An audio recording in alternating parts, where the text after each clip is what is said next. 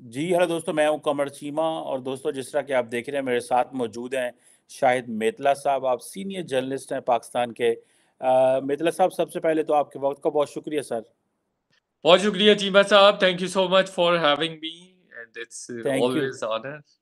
Thank you Mitla साहब, आपके वक़्त का बहुत शुक्रिया। मितला साहब इस वक़्त जो सबसे इम्पोर्टेंट टॉपिक है, आप तो ज़्यादातर नेशनल सिक्योरिटी फ़ॉरेन पॉलिसी और डोमेस्टिक पॉलिटिक्स को कवर करते हैं और बड़े-बड़े आपने जो है वो स्कूप दिए हुए हैं, बड़े बड़ी इंपॉर्टेंट खबरें पाकिस्तान की तारीख़ की आपने दी हैं। लेकिन आज एक इंपॉर्टेंट टॉपिक पे बात करनी है कि मेतला साहब पाकिस्तान की क्रिकेट टीम गई हुई है इंडिया और वहाँ। पे हमने बड़ा शोर डाला हुआ था, वो जी हमें वीज़े नहीं मिले, हमें वीज़े नहीं मिले। वो वीज़े हमने क्या करने थे, हमारी टीम जनाब वहाँ अफ़गानिस्तान से हार गई है। आप क्या देखते हैं? क्या ये हमारी टीम बोर हो गई है, कॉम्पिटेंट नहीं है, पॉलिटिक्स है, अफ़गानिस्तान से हार जाना? मतलब मैं ये नहीं कह रहा कि मैं किसी को डिमोनाइज़ नहीं कर रहा, अफ़गानिस्तान की टीम भी ज़ाहिर बात है मेहनत करती है, बड़ी कोशिश करती है, काफ़ी देर से वो मेहनत कर रहे हैं। उन्होंने बरतानिया को भी हराया है, पाकिस्तान क्यों हारा है? आप कैसे देखते हैं मितला साहब? चीमा साहब थैंक यू सो मच ये बहुत इंटरेस्टिंग टॉपिक है, तो मैं इसका एक्सपर्ट नहीं हूँ। लेकिन पाकिस्तान और इंडिया की बात की जाए, सब कॉन्टिनेंट की बात की जाए, तो हर पढ़ा-लिखा बंदा क्या लाइक अनपढ़ आदमी स्ट्रेट गाय भी अच्छा खासा क्रिकेट का एक्सपर्ट है, बल्कि इंडिया के बारे में तो ये बात भी की जाती है कि इंडिया में 3-4 चीज़ें बिकती हैं, 3-4 चीज़ें सबसे बड़ी हैं। एक मज़हब बड़ा है, एक सियासत राजनीति बड़ी है और एक क्रिकेट बड़ी है। और चौथा ये भी कहा जाता है कि सचिन तेंदुलकर बड़ा है, तो चाहते 3-4 चीज़ें इंडिया में इसी तरह के पाकिस्तान का भी सिलसिला है कि पाकिस्तान में क्रिकेट बहुत पॉपुलर गेम है। अ, चीमा साहब इसकी मैं बेसिक रीज़न आपको बताऊँ बड़ी इंटरेस्टिंग है। मैंने ओवर द टाइम लाइ लाइक लास्ट 15-20 इयर्स मैंने बहुत क्लोज़ली मॉनिटर किया है अपने प्लेयर्स को कि हमारे प्लेयर्स के साथ इश्यू क्या है। ये बड़ा इंटरेस्टिंग एस्पेक्ट होगा, जिसपे आज मैं बात करना चाहूँगा और करूँगा। हमारे यहाँ ना एक साइकोलॉजिकल जो इशू है, ये साइकोलॉजिकल डिसऑर्डर है, ये साइकोलॉजिकल ट्रीटमेंट है, उस पर तोज्जो नहीं दी गई। साइकोलॉजिकल एस्पेक्ट ऑफ़ प्लेयर्स जो है, उस पर कभी तोज्जो नहीं दी गई। कैसे? ऐसे कि एक तो देखें हम सेल्फ डिप्राइव्ड नेशन है, बहुत सारे इश्यूज़ हैं, बाकी नेशंस के साथ भी होते हैं। सेल्फ पिटी हम में बहुत ज़्यादा है, हम में कुछ ज़्यादा है और हम अपने आप को हमेशा बैश करते हैं, हम अपने आप को क्रिटिसाइज़ करते रहते हैं। उसकी वजह से आपका मोरल जो है ओवरऑल आपका डाउन रहता है। मैं अगर आपको थोड़ी-सी एग्ज़ाम्पल भी दूँ, ऑक्सफर्ड यूनिवर्सिटी में था अभी रिसेंटली, हालाँकि हम बहुत सारे मुल्कों से फिर भी अच्छे लेकिन वहाँ मैं अपने आप को इतना कॉन्फिडेंट फ़ील नहीं कर रहा था कि मैं अपने आप को पाकिस्तानी इंट्रोड्यूस करवाता। तो हम में जो ये है ना, ये वाला एलिमेंट है कि हम सेल्फ पिटी इज़्म में चले जाते हैं, ये बहुत ज़्यादा है। उसका इम्पैक्ट हर शोबा ज़िंदगी पर होता है, हर प्रोफ़ेशनल पर होता है। सो मच सो वो क्रिकेट जो प्लेयर्स हैं, उन पे भी होता है। दूसरा, चूँकि ये तमाम के तमाम जो है, उसकी वजह से ये होता है कि मोरल डाउन होता है, तो ज़हनी तौर पर वो हारे होते हैं। दूसरी एक बहुत इम्पोर्टेंट वजह ये है, वो भी साइकोलॉजिकल फैक्टर से ही वाबस्ता है, वो ये है कि हमारे यहाँ जो बच्चे हैं, हमारे जो लोग हैं प्लेयर्स हैं, वो बहुत ही मिडोकर फैमिली से या लोअर मिडोकर मिडोकर फैमिली से और समटाइम्स बहुत ही गरीब फैमिली से आते हैं। तो उनका वो जो कॉन्फिडेंस लेवल है या जो उनमें जो एग्रेशन होना चाहिए, नज़र आना चाहिए एज़ प्लेयर या एज़ कौमी प्लेयर या एज़ पाकिस्तान रिप्रेजेंटेटिव, वो मिसिंग होता है। वो कभी सारी ज़िंदगी गेन ही नहीं कर पाते हैं। तो हम भी हमारा बोर्ड, हमारे जो हालात होते हैं, सियासी, सोशल या अदरवाइज़, वो उनको वो वाला कॉन्फिडेंस ही नहीं दे पाते हैं। तो मैंने ओवर द टाइम ये चीज़ नोट की है कि हमारे प्लेयर्स का साइकोलॉजिकल इशू है अनलाइक अदर नेशंस। हम साइकोलॉजिकली बड़े डिप्रेस्ड हैं, डिफीटेड होते हैं। नेपोलियन बोनापार्ट ने कहा था, "जब आपको हारने का डर हो, तो वो आप ज़रूर हारते हैं।" तो हम जब इस मेंटालिटी से ग्राउंड में उतरते हैं, हमारे प्लेयर्स जो ग्राउंड में उतरते हैं, तो वो हार जाते हैं। ओह! हमारा ऑस्ट्रेलिया के साथ मैच है। ओह! हमारा इंडिया के साथ मैच है। ओह! हमारा इंग्लैंड के साथ मैच है। तो उसी प्रेशर में, उसी दबाव में, उसी साइकोलॉजिकल फ़ियर की वजह से हम कोई भी मैच हार जाते हैं। तो इस पे हमें ज़रूर तवज्जो देनी चाहिए। वजह ये है कि बैकग्राउंड कुछ प्लेयर्स का ऐसा होता है सारी ज़िंदगी वो कॉन्फिडेंस ही नहीं गेन कर पाते हैं। फिर जो ओवरऑल मुल्क के हालात होते हैं, सोशल है, इकोनॉमिकल है या पॉलिटिकल है, वो भी इम्पैक्ट करते हैं। तो इस चीज़ पे जो पाकिस्तान क्रिकेट बोर्ड है उसको ज़रूर तवज्जो देनी चाहिए और इस पे ज़रूर बात होनी चाहिए और इसके स्पेशल ट्रेनिंग सेशंस वगैरह होने चाहिए कि प्लेयर्स को बताएँ कि आप भाई पाकिस्तान को रिप्रेजेंट कर रहे हैं और आप एक एक गैरतमंद कौम है तो आपको इस जहन के साथ, इस माइंडसेट के साथ नहीं जाना चाहिए कि आप कोई कमतर है। दूसरी चीज़ ये है, हमारे पॉलिटिकल इश्यूज़ बहुत है चूँकि हमारी पॉलिटिक्स हर चीज़ में घुसी हुई है चीमा साहब। आप देखें कि नजम सेठी साहब was performing well but he had been removed just because के पीपल्स पार्टी के पास कोलेशन गवर्नमेंट में मिनिस्ट्री ऑफ़ प्रोवेंशल कोऑर्डिनेशन थी तो वहाँ पे पीपल्स पार्टी ने अपनी धोस जमाई कि नहीं जी, हमारा चेयरमैन पीसीबी होना चाहिए। हालाँकि जका अशरफ साहब है डस्ट लिस्ट है। पता नहीं उधर क्या ऐसी चीज़ है कि हर बंदा वो भाग भाग के जाता है। हमारे यहाँ ये बड़ा सिस्टम है कि बहुत स्पॉइल्ड है सिस्टम कि हम right person for right job बिल्कुल एक्सप्लोर करने की कोशिश नहीं करते, हम उस पर फोकस नहीं करते। हम किसी भी माजे गामे को पकड़ के लगा देते हैं जिसके पॉलिटिकल कनेक्शन हो जिसके इन्फ्लुएंशियल लोगों के साथ कनेक्शन होते हैं। उसका कोई एक्सपीरियंस है ताल्लुक। तो वो जो पॉलिटिक्स है इनसाइड पीसीबी वो बड़ी मैटर करती है। फिर आगे फर्दर आप देखिए कि फर्दर जो प्लेयर्स की डिवाइड फर्दर आप देखें कि उसकी जो लोड मैनेजमेंट है, जैसे हेड कोच है बॉलिंग कोच है बैटिंग कोच है चीफ सिलेक्टर्स है, उनके भी अपनी अपनी प्रायोरिटीज है। उनके सबके तो रिश्तेदार हैं भाई। बाबर जो है, वो बाबर आज़म, वो किसी का दामाद है, मुश्ताक साहब का दामाद है दामाद है। इसी तरह से उमर अकबल अब्दुल कादर का दामाद है। इसी तरह से बाकी सारे प्लेयर्स भी जो वो हाक लड़का, वो इंजमामुल हक साहब का भतीजा है। तो ये रिश्तेदारी फिर जब सिलेक्शन होती है तो इस तरह की चीज़ें आ जाती हैं। फिर आपने स्पोर्ट्स में रिलीजन को बड़ा ज़्यादा घुसेड़ दिया हुआ है रिलीजन आपने बड़ा एम्बेड कर दिया हुआ है। हालाँकि स्पोर्ट्स के साथ इसको कोई ताल्लुक नहीं नहीं होना चाहिए अच्छा फिर आप जरा और नीचे आ जाए। इस पैरामिड को जरा और नीचे लेके आए तो आप देखेंगे इंटरेस्टिंगली जो आपस में लड़ाइयाँ होती हैं, जो ड्रेसिंग रूम की लड़ाई है, वो बड़ी इंटरेस्टिंग है, बड़ी पैटी है और बड़ी ही चीप है।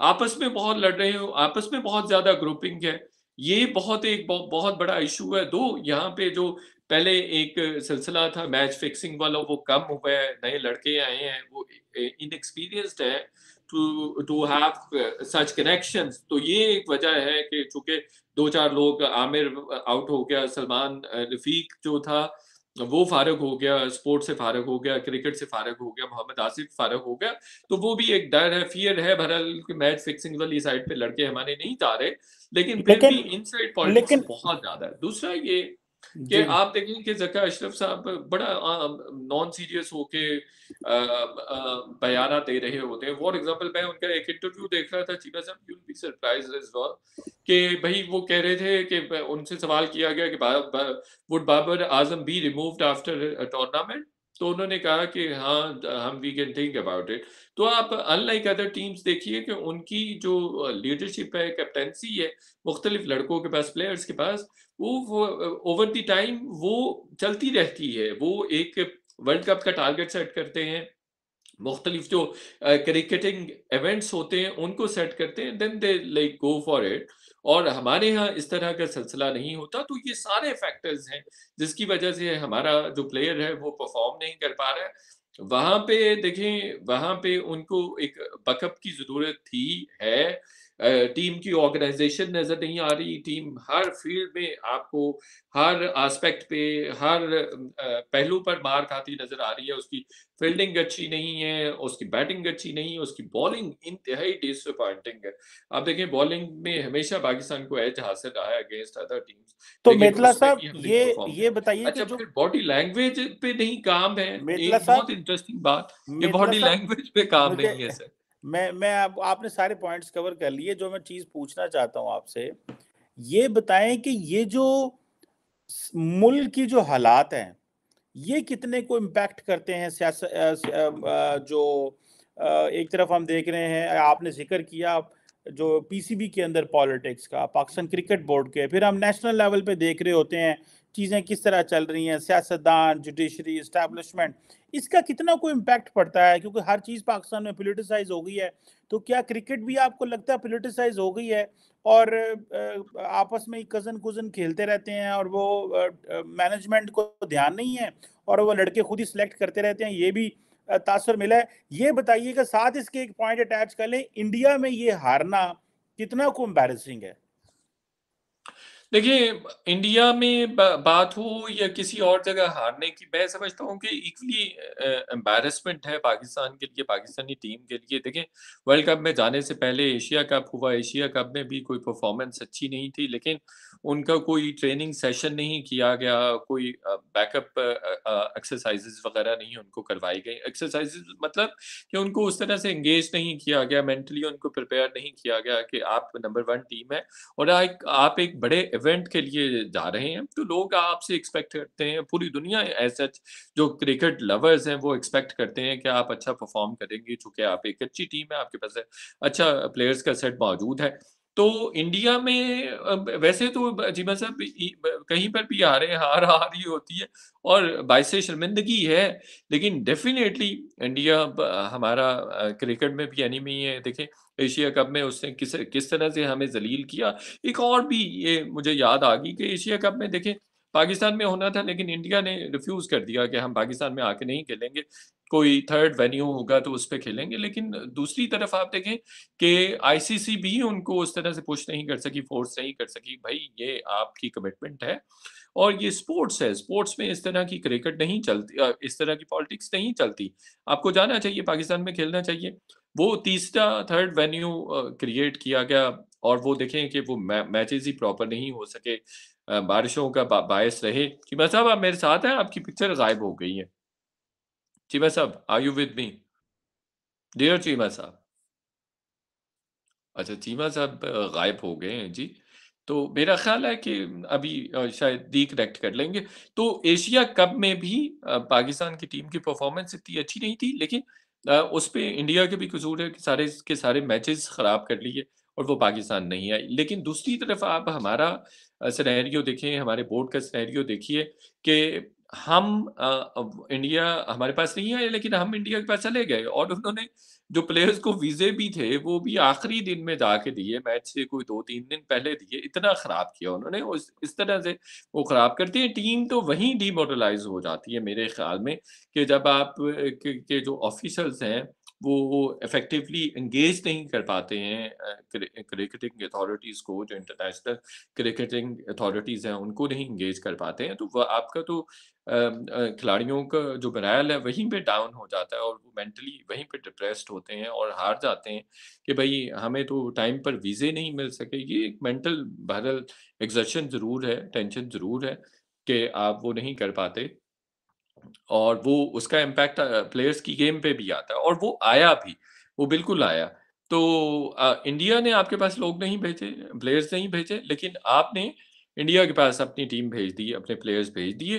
तो ये इस तरह का सिलसिला है ये इस तरह का सिलसिला तो ये भी इम्पैक्ट करता है। और डेफिनेटली जो चीमा साहब आप बात कर रहे थे ना कि प्लेयर्स का ये इशू है और सियासत है तो डेफिनेटली सारे अपने अपने लोग लेकर आते हैं। दो खबरें मैं आपके साथ चलें शेयर कर लेता हूँ कि it would be very interesting for you and for your listener viewers कि आप देखिए, जो मिसबा हक को कोच बनवाया गया था, वो स्पेसिफिकली टिपिकली पॉलिटिकल अपॉइंटमेंट थी। वो, जो मौलाना तारिक जमील साहब थे, उन्होंने इमरान खान को रिक्वेस्ट की, इमरान खान को मिसबाल हक की सिफारिश की और वो इस तरह से हो गए। और इसी तरह से बाकी अपॉइंटमेंट्स हो रही होती हैं और जब आप इस लेवल पे इस तरह से चीज़ों को मैनिपुलेट कर रहे होते हैं पॉलिटिकल अपॉइंटमेंट्स अभी भी पॉलिटिकल अपॉइंटमेंट्स हैं, बहुत सारी अपॉइंटमेंट्स हैं तो फिर आप क्या एक्सपेक्ट करते हैं कि हमारी टीम क्या परफॉर्म करेगी? ये मित्रा साहब, आपने मज़हब का फैक्टर का ज़िक्र किया कि मज़हब बहुत ज़्यादा आ गया है। मज़हब की क्या ऐसी चीज़ है? किसी ने कहा जी कि सईद अनवर साहब और हक साहब इन्होंने लड़कों को जो है ना वो मजहबी तबलीगी जमात बना दी है। How do you how do you see this देखिए, ये बिल्कुल नहीं स्पोर्ट्स का मैंने पहले ही कहा कि स्पोर्ट्स में मज़हब का कोई ताल्लुक ऐसा होता नहीं है। वो वो आ आ आप कितने टफ़ हैं, कितनी एक्सरसाइज़ करते हैं, कितनी प्रैक्टिस करते हैं, कितना अच्छा परफ़ॉर्म करते हैं, कितनी अच्छी टेक्निक्स यूज़ करते हैं, कितना अच्छा दिन है आपके लिए, कितनी फ़ॉर्म में ये चीज़ें मैटर करती हैं और आप मज़हब आपका निजी मामला है। लेकिन जो गेम है वो आपका निजी प्राइवेट मामला नहीं है। वो आपका पर्सनल अफ़ेयर नहीं है, वो आपका नेशनल अफ़ेयर है। आप पे एक ज़िम्मेदारी आयद की गई है और आपने उस ज़िम्मेदारी को अदा करना है, पे करना है और उसके जवाब में आपको मुआवज़ा दिया जा रहा है। आप you are hire for for a game ना, तो आपने उसको परफ़ॉर्म करना है और उस परफ़ॉर्मेंस से आपने अपने मुखालफिन को आउट परफ़ॉर्म करना है, आपको इसके लिए पैसे दिए हैं। जो मज़हब है वो आपका ड्रेसिंग रूम तक रह सकता है और ड्रेसिंग रूम से भी रादर आई वुड से कि वो भाई आपके जो रूम तक इससे ज़्यादा नहीं, रूम से बाहर आपका मज़हब नहीं है। अ, आप जब ग्राउंड में उतरते हैं, ठीक है, आप अल्लाह को याद करें। हर एक आदमी के बिलीफ्स होते हैं, हर एक आदमी का सेक्ट होता है, हर एक आदमी की कन्विक्शंस होती हैं, होनी चाहिए। आप उसे अपने तक रखें और अपने तक उसको अदा करें, लेकिन आप दूसरों को उसकी तरफ़ इंटाइस ना करें, दूसरों को इन्फ्लुएंस करने की कोशिश ना करें। आप ठीक है, हम अच्छे-बुरे की ये देखिए ये basic like basic universal prince universal principle है कि हम सारे बिलीव करते हैं गुड एंड बैड पे। तो आप बिल्कुल बताएँ अपने दोस्तों को बताएँ लेकिन किसी को थोपे ना और ये ना किसी को बताएँ कि भाई आप नमाज़ पढ़ेंगे, तहज्जुद पढ़ेंगे तो फिर ही आप गेम जीत सकते हैं। तो अब गेम आपने मेहनत से जीतनी अल्लाह बिल्कुल करम करता है, अल्लाह बिल्कुल करम करता है और दुआओं से गेम जीती जाती तो कभी पाकिस्तान ना हारता मैं आपको बताऊँ। यहाँ बच्चा-बच्चा अ अ, मुसल्ले बिठा के मुसल्ले डाल के वो दुआ कर रहा होता है। ऐसे होता है जैसे दरबार हो गया है ना मतलब जिस दिन पाकिस्तान का मैच हो, पाकिस्तान का हर घर इंक्लूडिंग माइन ऐसे होता है जैसे दरबार है कोई।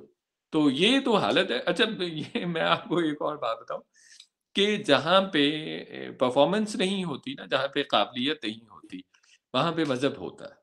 ये बड़ी इम्पोर्टेंट बात है। तो इस पे मुझे आप जूते पड़वाएँगे वैसे। नहीं, नहीं, नहीं, आपको जूते नहीं पड़ेंगे। मैं तो ज़ाती तौर पे ये समझता हूँ कि हमारे जो खिलाड़ी हैं, वो नेशनलिज़्म, मज़हब, इन चीज़ों का सहारा लेके बस वो पॉपुलर काम करना चाहते हैं। वो न्यूयॉर्क की सड़क पे मुसल्ला डाल के नमाज़ पढ़ना चाहते हैं ताकि वो अपने लोगों को देखें, मैं कितना अच्छा हाँ। मुसलमान हूँ और देखें मैं स्पोर्ट्समैन भी हूँ और मैं पॉपुलर भी हूँ।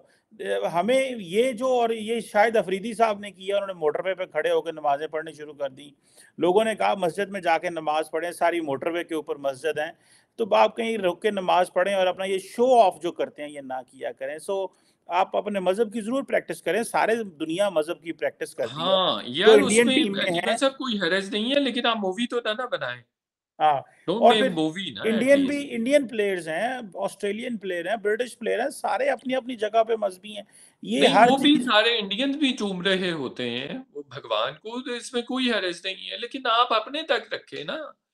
आप इन्फ्लुएंस ना ना करें, दूसरों को इन्फ्लुएंस करने की कोशिश ना करें या ये तासुर देने की भी कोशिश ना करें कि आप बहुत मज़हबी हैं, इसलिए आप अच्छा परफ़ॉर्म कर रहे हैं।